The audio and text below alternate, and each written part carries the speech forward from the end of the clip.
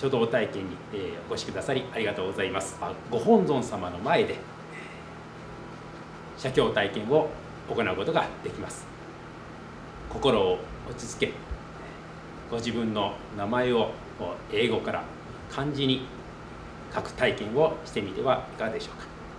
日本の文化を書道を通して知る良い機会になると思います。えー、上指下に